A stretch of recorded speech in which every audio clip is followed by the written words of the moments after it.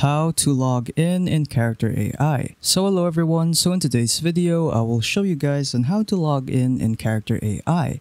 So without further ado, let us begin. So logging in is quite simple, so what you want to do is just download the Character AI app which can be found in the App Store or Google Play Store depending on which brand of phone that you're using. So just search up for Character AI in there. Then after that, download this application right here, Character AI Chat, Talk, and Text. And then once you're done installing the app of Character AI, just open the app.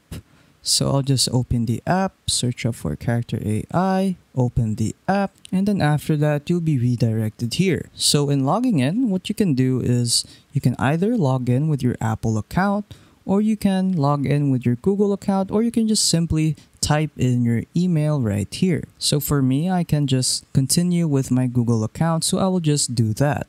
And then after that, just wait for it to load, and then there you go.